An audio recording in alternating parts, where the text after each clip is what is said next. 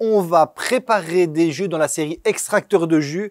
On va s'amuser, on rentre une nouvelle marque et on a amené un invité pour vous expliquer ça en détail.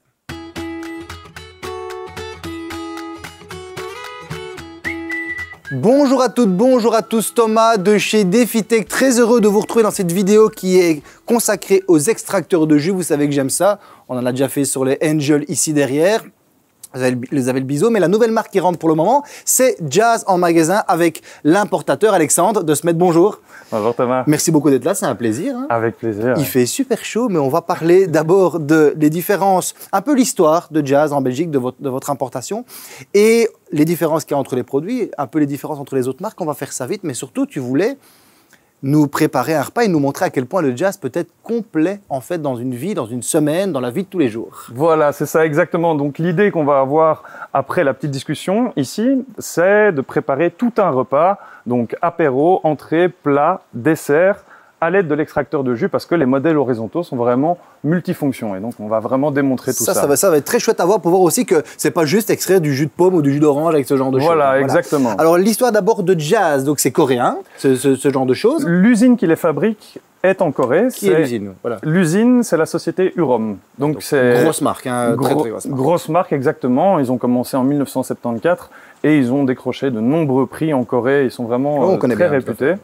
Donc on travaille étroitement avec eux pour euh, sortir euh, les, nouveaux modèles et améliorer les pièces. Et pour revenir plus précisément à la marque Jazz, c'est une petite société familiale. Donc mon père a lancé ça il y a une vingtaine d'années, qui travaille avec ma grand-mère, ma sœur est venue, mes deux sœurs pardon, sont venues dans l'équation.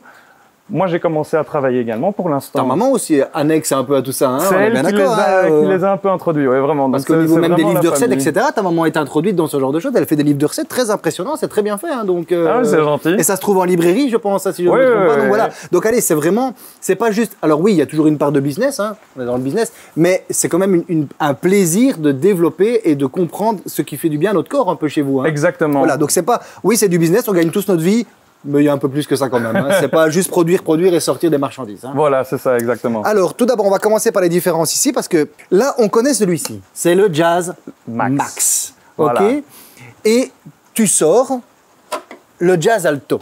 Voilà, c'est son grand frère. Le Jazz Max, ça fait combien d'années maintenant? Ça fait depuis 2005 qu'il est sorti le Jazz Max, mais il y a eu des modifications sur les pièces. Donc, si vous voyez sur notre site euh, toutes les pièces détachées qu'on a, vous avez Jazz Max 2005, 2009, 2015, parce qu'en fonction euh, du service après-vente, donc on enregistre tout, on remonte à l'usine et il y a des améliorations qui se font sur les pièces.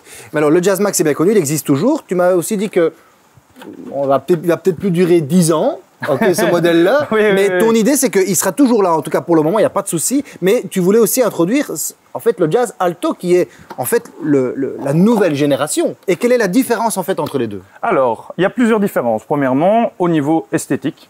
Deuxièmement, euh, ici, l'embouchure du jazz alto est deux fois, ouais, elle est 50% plus large à ce niveau-ci et la cheminée est deux fois plus large. Donc il faut moins couper les fruits et les légumes quand on les introduit. Et jazz max, jazz alto. Voilà, c'est ça exactement. Dans les autres différences, si on regarde au niveau du cône à jus, on a des renforts qui ont été rajoutés, mais surtout un petit joint ici à ce niveau-là qui va être très intéressant. Déjà, il va nous permettre d'avoir. Il n'y a pas de joint ici. Oui, c'est ça. Donc c'est euh, quelque chose en plus sur le jazz alto. Il va nous permettre d'avoir un meilleur rendement de l'ordre de 5% sur le jazz alto plus, euh, comparé au jazz max. Mais surtout, quand on va préparer des fruits des bois qui ont beaucoup de petits pépins, dans les groseilles, dans les framboises, on en fera euh, tantôt et on pourra montrer la différence. Ce joint va laisser s'échapper les petits grains et on va pas devoir démonter la machine, la laver, tout remonter pour recommencer. Au niveau de la vis? Au niveau de la vis, elle est presque identique. Il y a une petite différence. C'est toujours de euh, l'ultème, ceci. Hein c'est ça, c'est ça. La vis est en ultème. Tous les plastiques noirs, c'est de l'ultème. Les plastiques transparents, c'est du tritan. D'accord, ok. Sans BPA. Alors, le look, il est ce qu'il est, mais le, le, jazz alto est quand même un peu plus affiné, un peu plus moderne, mais il y a différentes couleurs en plus hein, dedans. Hein. c'est ça. Euh, voilà, mais ça, c'est la principale différence qu'on a entre, le max et le, entre le max et l'alto. Maintenant, allez, on va se retourner, on va regarder ça. Ça, on a ça y ressemble très fort, ça marque biseau. Uh-huh. La vraie différence qu'il y a entre un alto et un biseau, par exemple C'est assez compliqué parce qu'en fait, euh, donc, si on revient un petit peu dans l'histoire avec Urom qui, euh, qui sort les, les, horizontaux en 1974, ça commence à faire le buzz, ça monte. En 2009, plus ou moins, il y a pas mal de copies chinoises qui sont arrivées sur le marché. Si je commence à te montrer les pièces, elles sont vraiment, vraiment très similaires, mais on va remarquer quelques petites différences. Alors, moi, je ne suis pas euh, un grand scientifique, donc je ne vais pas pouvoir analyser les plastiques, etc.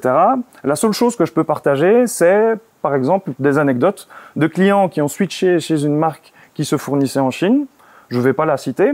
Mais après trois ans, ils sont revenus chez nous parce qu'il y avait beaucoup trop de casse sur leurs pièces. Donc, moi, je suis d'avis de dire que euh, ces pièces sont quand même un petit peu moins solides. quoi. D'accord, ok. On, a, on est dans le même principe de base, mais tu estimes que les pièces, en tout cas, chez toi, sont de meilleure qualité. En tout cas, il y a peut-être un meilleur suivi, en tout cas chez toi, dans ce cas-ci. C'est ça, Une amélioration. exactement. Alors, Maintenant, je ne casse pas du sucre euh, sur les usines chinoises. D'ailleurs, on va potentiellement sortir un modèle beaucoup plus entrée de gamme, donc à peu près 200 euros moins cher ou 100 euros moins cher en fonction du moteur qu'on choisira.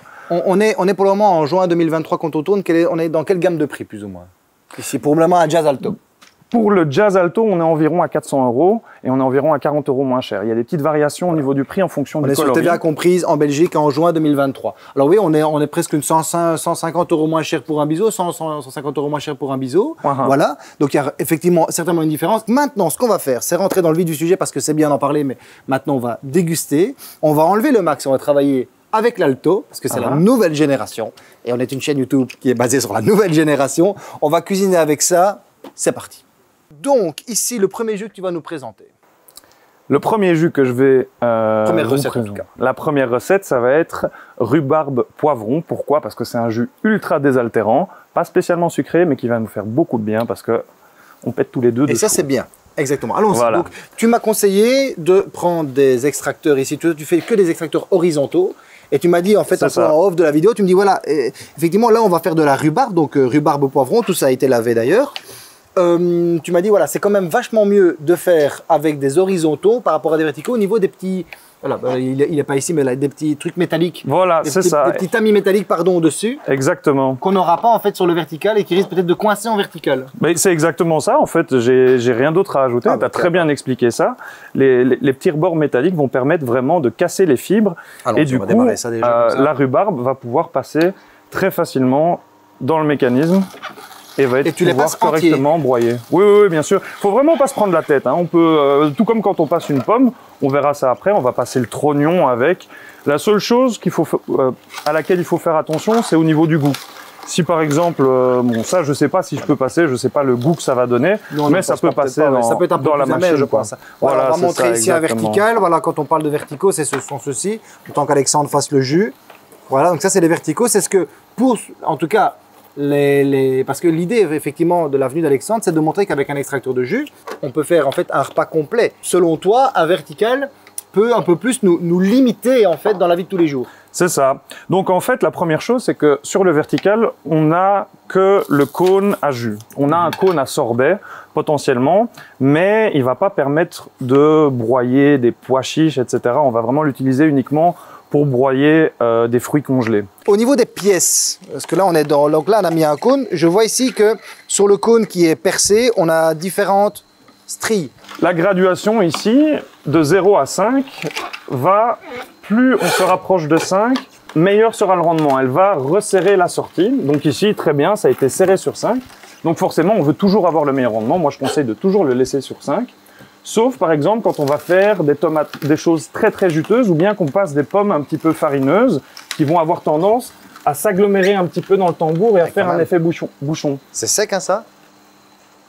Regardez. C'est sec, sec, sec, sec hein C'est sec à mort hein parce que la rhubarbe, c'est toujours, c'est bien de commencer par ça parce que c'est toujours un truc qui fait peur à cause des filaments qu'il y a dedans, etc. Donc. Euh, Mais justement, en fait, plus les choses sont, sont fibreuses, mieux elles vont passer dans la machine et meilleur sera le rendement de jus. Ah, donc c'est. Ah bah, petit nettoyage ici, clax, on va goûter le jus. Et ce qu'on va faire, c'est qu'on va mettre de côté un peu ça pour montrer à la fin ce qu'on récupère. Oui, il y a une fonction reverse aussi. Hein. Quand c'est bloqué, si jamais ça bouge un petit peu, il y a une fonction reverse. Allez, on goûte le jus, c'est parti. On va déguster.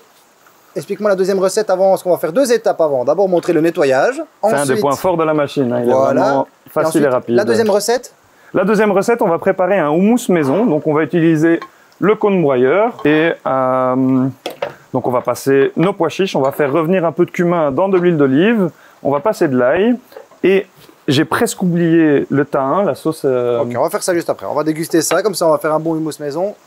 Santé. Santé. J'ai jamais goûté euh, du jus de poivron. Euh. C'est digeste? Très digeste.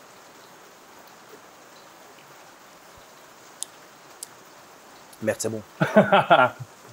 non, c'est bon. honnêtement, j'avais jamais goûté. Je vais tout à fait être franc au niveau de YouTube. Je n'avais jamais goûté. C'est désaltérant à mort. Ah.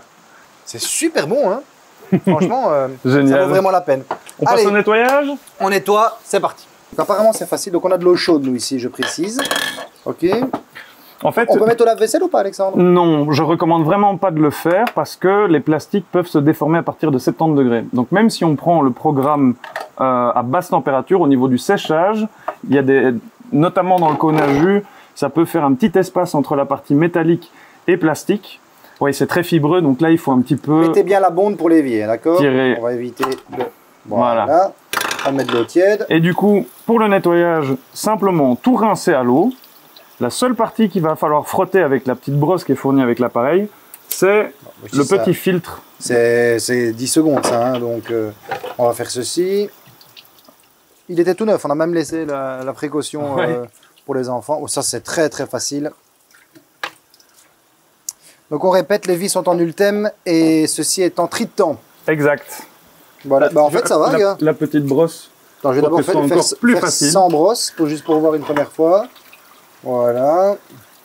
Voilà. Alexandre, deuxième recette, on a fait l'entretien, facile. Eh bien justement, j'ai deux petits détails à rajouter par rapport à l'entretien. Donc, on, le rince simplement à l'eau. On recommande toutes les deux semaines de les laver à l'eau chaude savonneuse. Ou quand on fait des préparations un peu plus grasses comme celle qu'on va préparer ici, on n'a simplement pas le choix, on va le laver à l'eau chaude savonneuse. Donc après un an ou deux ans d'utilisation quotidienne, on va pouvoir voir des petits dépôts calcaires un peu brunâtres qui sont mélangés au jus. Et donc pour ça, euh, eh bien les, manières classiques de retirer le calcaire, donc le faire tremper dans du vinaigre avec euh, du bicarbonate du sud, quoi fonctionne très très bien pour, l'entretien long terme. Des pour ta recette, on va donc c'est les deux types de cônes. On va pas utiliser celui-ci. Non, on, va, utiliser, le cône broyeur. Ici, on veut faire du houmous, donc on veut pas faire du jus de pois chiche. On va utiliser le cône broyeur. Donc, on le remet. Et moi, je vais mettre un peu d'huile d'olive et faire revenir le cumin pour qu'il dégage toute sa saveur.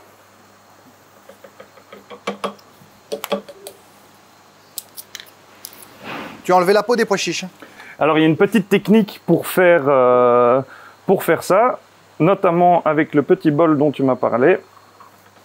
On va passer tous nos pois chiches dans un bol, on va verser de l'eau et on va frotter nos pois chiches pour que la peau des pois chiches nous colle à la main. En fait, pourquoi on retire la peau? C'est pour que les pois chiches soient beaucoup plus digestes. Et alors ici, le rôle de l'embout gradué, ça va déterminer la finesse du broyage qu'on va avoir. Donc si on veut avoir un broyage un peu plus épais, on va desserrer l'embout gradué. Mais ici, on veut quelque chose de relativement fin. On va mettre deux gousses d'ail dedans. Et ensuite, on va rajouter l'huile avec le cumin. On va mélanger. On va rajouter à petite dose du thym parce que ça peut très vite couvrir tout le goût. Donc là, je passe l'ail dedans. Hein. Ouais, bien sûr. Ah, ok, là, tu mets ce qu'on va faire, c'est qu'on va repasser ça pour aller chasser l'ail. Parce que sinon, il va mettre un peu de temps à passer. Donc tu fais ça. On va rajouter le tarin. Taïna, et là ça passe pas très bien. hop, hop, hop, hop, hop, hop. Ça c'est exactement la première cause de casse. Le, truc qui va pas dedans. Ah oui, oui, je sais bien, mais à ce moment-là, non. Parce que si tu, tu peux le faire si tu veux, si tu arrêtes le moteur et que la vis ne tourne plus, mais la vis elle est quand même vachement solide, elle va casser ton couteau, le bout de couteau, il va passer à l'intérieur et il va tout casser. c'est le seul truc qu'on fait pas passer en garantie. Et mais comment alors on fait pour avoir ça? Eh bien, soit tu passes la marche arrière, soit tu passes quelque chose d'un peu plus fibreux. Qui va permettre de ravoir ça. Pour ravoir tout le reste. D'accord. Exactement. Alors maintenant, on a fait ce mélange-ci. Qu'est-ce qu'on fait pour la suite? Ce qu'on fait pour la suite, hop, on va rajouter notre huile avec le cumin. Donc maintenant, voilà, l'idée c'est ça. Si vous faites des pois chiches vous-même, à ce moment-là, vous passez un petit peu d'eau dedans et c'est l'eau des pois chiches qui vient légèrement allonger en fait, allonger en fait cela et avec, avec du, paprika au-dessus, c'est vraiment un vrai plaisir. Maintenant, ça a l'air extrêmement bon.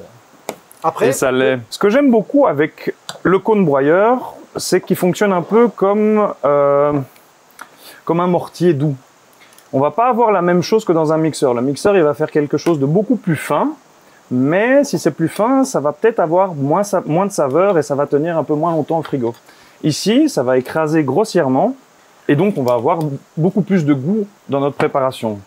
Mais je te laisse en juger.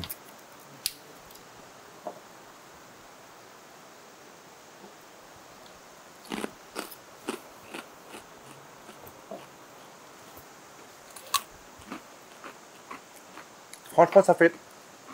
Franchement, ça fait le taf. Ça fait le taf? Ça fait le taf. C'est très sympa. C'est rapide. Et de nouveau, on se sert d'un électroménager à 100%. Troisième recette, donc on a fait un apéritif, une petite boisson salée, super bonne. On a fait du, du hummus, exactement. Et donc, troisième recette? Ce sera le tartare de carottes avec coriandre, juste là, et noix de cajou. On a mis quel Aussi simple que ça. Le cône on a mis le cône broyeur. On va serrer sur 5. Et moi, ce que je te propose, vas-y, tu peux rentrer la carotte. On va rentrer les... Elles sont pas épluchées, hein Non, non, non, non. On a juste retiré le bout parce que vu qu'on les, les broie, on n'a pas envie euh, d'obtenir le, le, petit bout vert de la carotte. Petite question, si ça bloque ton moteur au niveau euh, sécurité, Ouais. Parce que, là, depuis tantôt, il tourne, il chauffe un peu, il n'y a pas de risque. C'est garanti d'abord combien de temps ça? Tout l'ensemble de la machine est garanti 3 ans. Et cette garantie fonctionne euh, un peu comme une assurance touriste, parce que la seule chose qu'on ne garantit pas, c'est la bêtise que tu as fait tantôt avec ton couteau. Parce que ça, c'est évident et on le voit très rapidement. Donc, comme, euh, comme on l'a dit un peu plus tôt, euh, c'est une société familiale. Et pour l'instant, il n'y a plus que moi et mon père et je m'occupe de toute la gestion courante. Donc s'il y a une garantie à gérer, c'est moi que vous aurez au bout du fil ou au bout du clavier. Je pose beaucoup de questions pour les garanties. C'est pas pour ne pas faire rentrer la pièce en garantie, mais c'est pour pouvoir donner des conseils pour que euh, le problème que vous avez eu ne survienne plus. quoi. C'est vraiment ça l'idée. Et tu parlais de sécurité du moteur. Ici, c'est une sécurité mécanique du moteur. C'est-à-dire que quand le couple que le moteur va demander pour broyer, pour faire tourner la vis, va demander trop de courant, ce moteur, enfin le moteur va s'arrêter et coincer. Mais on va passer la coriandre aussi un petit peu, juste là. Alors, ce que je te conseillerais, c'est de juste prendre les feuilles, parce que ah. si on faisait un jus, les tiges peuvent passer, elles vont juste ajouter un petit goût, euh, mais vraiment très faible. Mais vu qu'on va les broyer, les tiges vont... les tiges, c'est bon aussi. Les tiges, c'est bon, alors on met les tiges avec. Mais tu peux y aller et on va passer une carotte derrière pour chasser le tout vers l'avant. Tu peux rajouter un peu plus de coriandre. Je vais donc maintenant prendre que les feuilles à ce moment-là. Magnifique. Un peu de jus de citron. Mais j'aurais peut-être. Alors, petit, petit conseil, effectivement, tu as raison au niveau des tiges, je m'en rends compte maintenant. euh, donc, c'est un peu. Voilà, il y a la petite tige, mais honnêtement, c'est pas. moi, ça ne me dérange pas. Par contre, il faudrait peut-être que je passe la coriandre un peu plus souvent qu'on a un coup le bouquet. Oui. Comme ça, ça permet que le mélange voilà, ça euh, permet que le mélange se fasse. Donc, Exactement. petit conseil que je viens de découvrir en le faisant, car on n'a pas fait les recettes avant. J'ai fait une confiance aveugle. Je chope un petit peu le bout de coriandre parce que c'est vraiment succulent ce mélange. Nous venons de réaliser, par la recette d'Alexandre, un carpaccio de carottes, coriandre, citron vert et, noix de cajou.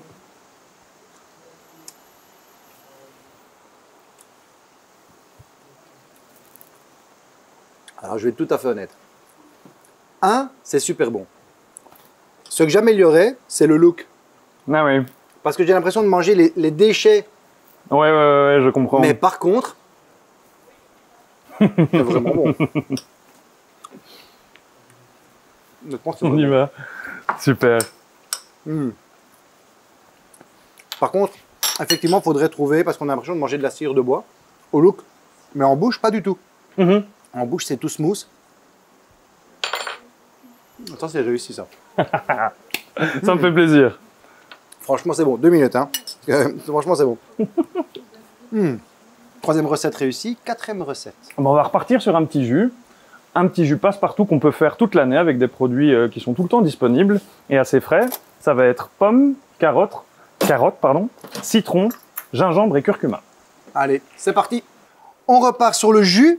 On remet le cône à jus. Le cône à jus, donc exact. cône et cône à jus. On ne force pas. Parfait, parfait. Voilà, on va mettre sur 5. Sur 5. Et alors, la première chose qu'on va passer, c'est le citron, parce qu'on va le passer avec la peau. Le zeste du citron vert va donner un vraiment très bon goût. Et si on le passe après, la peau va potentiellement se coincer entre le plastique et le métal, donc c'est un peu risqué pour les pièces. Donc le citron avec la peau, on le passe toujours en premier. Donc on passe euh, pomme entière, trognon complète. Hein. Oui, on peut tout mettre, on peut tout mettre. Attention à tes doigts. Ça sortira... Euh, la carotte complète et tu as prévu un demi-pouce de gingembre et un demi-pouce de curcuma. Et déjà ça, ça va... Anti-inflammatoire naturel, le curcuma, je crois.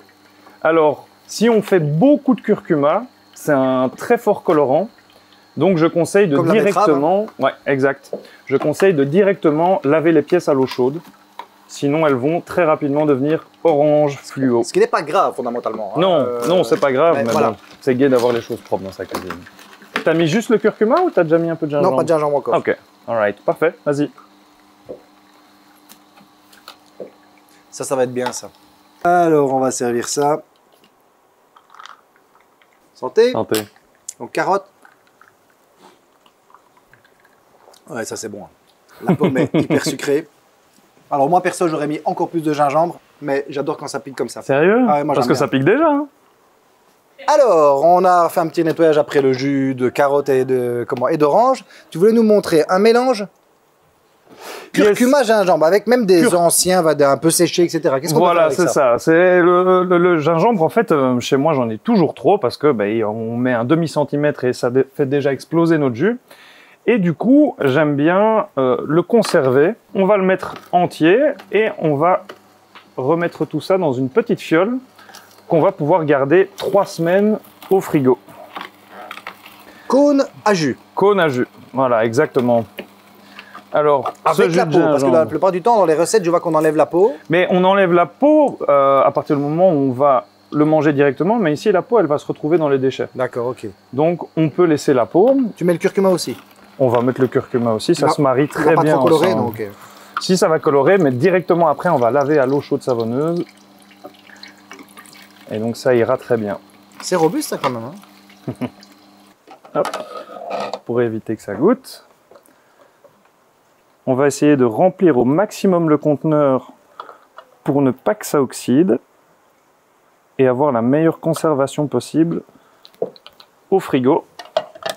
Pendant Trois semaines. Et on peut faire ça pareillement avec le basilic. Bon, ici, on va l'utiliser pour la prochaine recette, pour le pesto. Mais euh, toutes les herbes, par exemple, une botte de persil qu'on a du mal à terminer, on va en extraire le jus Soit on le met dans une petite fiole avec un fin filet d'huile d'olive au-dessus, soit on va le mettre dans un sachet glaçon au congélateur et on va agrémenter notre soupe ou d'autres préparations. Alors, préparation des pâtes maintenant, juste avant le pesto. Exact. Ok, on enlève le cône à jus et on prépare le cône broyeur. C'est parti On arrive dans le plat principal. Yes. Tu vas faire un pesto, mais avant le pesto, tu vas préparer des pâtes. Donc, tu as déjà fait les pâtes à l'avance, euh, la, pâte à pâte à l'avance, on va dire. Exact. Comment vas-tu pratiquer euh, alors, on va placer le cône broyeur et on va retirer l'embout gradué pour aller placer l'embout à pâte des pâtes qu'on souhaite faire. Donc ici, c'est des petites tagliatelles. On a aussi des capellini, des spaghettis et des grissini. Grissini qui ne sont pas des pâtes. Hein. Oui, c'est les embouts de mise en forme. Donc si on veut faire des grissini. Alors, on a voulu être un peu exotique et on a fait des pâtes colorées. Eux, semoule, semolina et euh, de la farine évidemment 00 et, euh, et des épinards. Et des épinards. Donc les épinards, on les a fait cuire et on les a passés au cône broyeur pour qu'ils soient beaucoup plus fins pour pouvoir l'intégrer facilement à la pâte. Ensuite, on va faire un petit pâton qu'on va simplement passer dans la machine et on va faire un petit nid de tagliatelle en saupoudrant un peu de semoule pour ne pas qu'elles accrochent. Alors maintenant, et c'est quand même des belles petites tagliatelles, hein. on va faire ça, l'eau est en train de bouillir, on va passer au pesto. Exact. Et ça c'est quand même pas facile. Hein. On a besoin d'ail, pignon de pain, basilic, basilic et de l'huile. De l'huile. Allez, c'est parti. Exact. Les pâtes sont faites, on a nettoyé pesto. Donc, yes. on a toasté les pignons de pain, on a cueilli le basilic. Alors, tu utilises quel cône ici? À nouveau, le cône broyeur. Donc le cône où il n'y a pas donc, de trou, hein, on est bien C'est ça, le cône plein. Et euh, pour éviter de trop mélanger à la sortie, ce que je propose de faire, c'est déjà de passer des petits bouts et de déjà mélanger lorsqu'on les introduit. Et c'est parti. Pas d'huile euh, dedans euh, On va le mettre après. Tu me dis quand je mets les pignons de pain. Elles sont, ils sont encore un peu chauds là, c'est pas grave? Non, non, tu peux y aller. Tout Ou j'attends? Attends un petit peu. On va rajouter un peu ça. ça, on va se faciliter la vie pour après.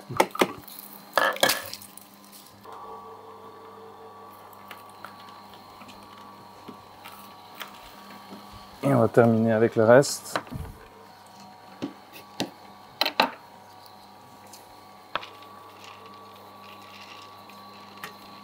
Alors Yes. C'est pas très vert, hein C'est pas très vert, mais on va voir ce que ça donne une fois qu'on mélange le tout, parce que le basilic, on l'a beaucoup passé au début. Imaginons, si c'est pas assez vert, on peut remettre la machine en route, on refait passer du basilic. Hein. Exactement.